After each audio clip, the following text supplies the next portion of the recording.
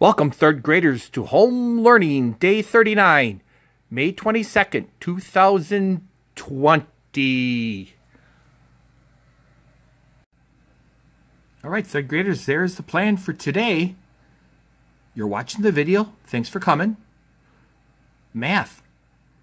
Write out a plan with a parent for studying your multiplication and division facts and using measuring and fraction skills over the summer. Wow. Do a guidance lesson and finish up Sees Behind Trees and take a look at some of those additional activities, the Chapter 9 activities. Hey, third graders, it's time to start planning our summer math plan. So as soon as you hear that word summer, that doesn't mean school is over. We have two more weeks of school. Now it's going to be a little bit different. Um, we're not going to be meeting the same way. It's going to be a little bit more one-on-one, -on -one, and we have some um, important things to finish up, like we, you know, gathering up things like our books that you have. like I believe third graders, you all have a couple of uh, textbooks at home, science and social studies, I believe, and also um, a couple of chapter books, Sees Behind Trees and Charlotte's Web. Um, I certainly would like those back. So, you know, find out where the, those are, get organized. Um, I know some of you are hoping to, to see your praying hands up in the, the trophy display case. And hopefully you can find those and hand those back and I can throw those up in there. That would be awesome. So um, it's uh, going to be a little bit different of home learning, but home learning is still going on. You have some projects to do, and it's a time to start thinking ahead. What is going to go on um, shortly in two weeks when you become fourth graders? Well, you, you have to get ready for fourth grade. You know, you have a lot more learning to do. I don't think any third graders are through their third semester of calculus, are you? And even if you were, there's more math after that. So Let's get excited about some fun math. Summer math can be super fun. Let's go through some ideas. Now, this video is a lot for your parents too. I have had so many parents over the years ask, well, what should we do this summer to review? What can we do um, so my child doesn't lose skills? Go grab your mom and dad, get a pencil, get a notepad, and start taking some notes. So here are some real life ideas to help you be better at math and have fun too.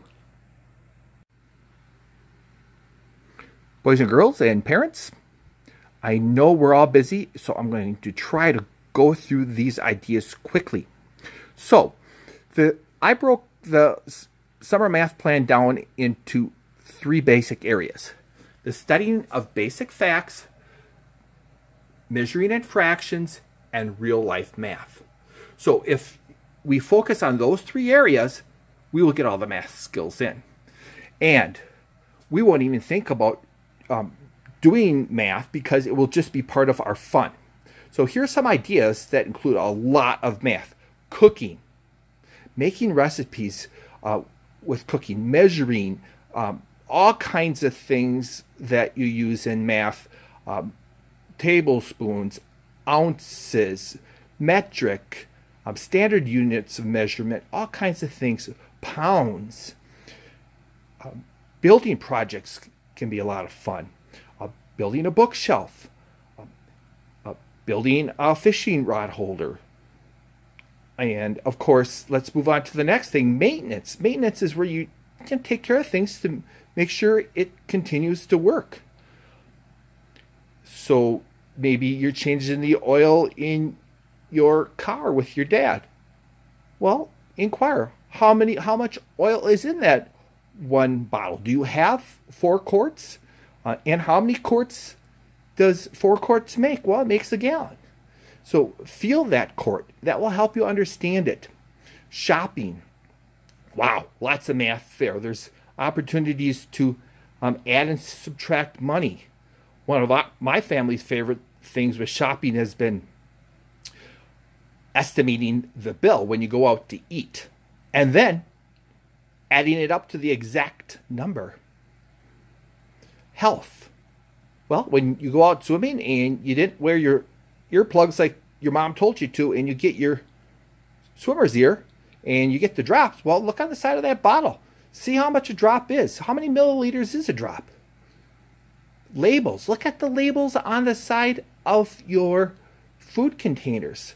How many ounces is a serving? And measure out that much. Lawn and garden. Wow, lots, a lot of things you can do with that, with rows and columns, lining up your tomato plants, measuring out the area of your patio. Maybe, maybe you're putting in a new patio. Um, and of course, your bee backs. No, what is a bee back? Well, a bee back is when you are told by mom or dad, be back by five o'clock. We're having supper. Don't be late. So, well, if they told you that, how much time do you have? What is the elapsed amount of time? If it's 440, how much time do you have? Or also you're you have blank left. When you're working on the best video game ever, and your parents are like, you have 10 minutes left on that game and then we're heading to church. Well, what is the exact time that you need to be finished by? And then, of course, there's all kinds of other ideas. Let's go see if we can find some examples of things that include those. So let's take a look here and let's check around for some real life ideas.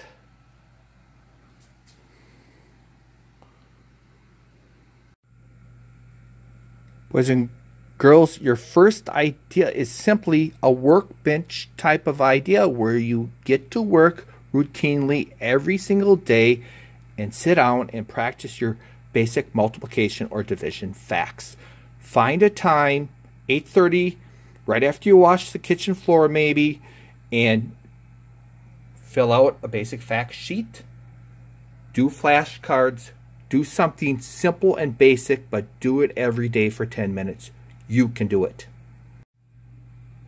How about doing some baking, boys and girls? Check that out.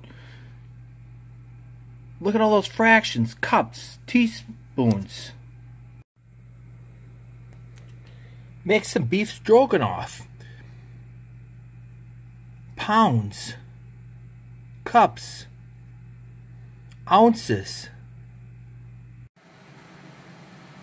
Use a yardstick or a meter stick to measure out the correct lengths in order to make a fishing rod holder. Build a bookshelf and go to the hardware store with your mom and pick out the right size screws. Build a pigeon coop and use a T-square while you're building it. Help your mom pour in the quarts of oil when she changes the oil. Estimate how much time it will take your dad to wax your mom's car. And help him wax it too. Pick out the right size tool. Compared metric size tools to standard size tools. Organize tools according to size. When you go to the grocery store, weigh out your produce in the produce department. Round the cost of each item you buy in the grocery store before you put it in the cart, and then try to estimate the total when you get to the checkout. Cal calculate the square inches of band-aids you're going to use if you skin your knee falling off a skateboard. What does that mean, third graders? One inch by three inches. Calculate the area of your garden. How many equal rows of vegetable plants will you be able to plant in your garden if they are each spaced three feet apart? Calculate your be back buys If your mom says you have to be back home at 4 o'clock, how many minutes do you have? When mom or dad tells you you have 15 minutes left to play your video game, by what time do you need to be finished? Boys and girls, you can see that there are many ways to use and practice your math skills over the summer. And some of these ways will really help you to understand your math better. So ask your parents to let you help and take interest in what they're doing. There's so much math in every single day activity. Boys and girls, let's look at the concluding activities for Sees Behind Trees. I have been so happy to see some of you have already jumped right in and you've been working on a visualization poster for the land of water. Don't forget to include a good simile with that for the title. Of course, some of you love to write. There's another option, number two. It's like writing a little book report. And number three is a fun option if you like to bake. You like to bake some corn cakes and then do some play acting of the scene where it sees Behind Trees has to hit the boss that's flying through the air before he can get his corn cakes. Of course, only do this one under your parents' supervision. So there you go, boys and girls.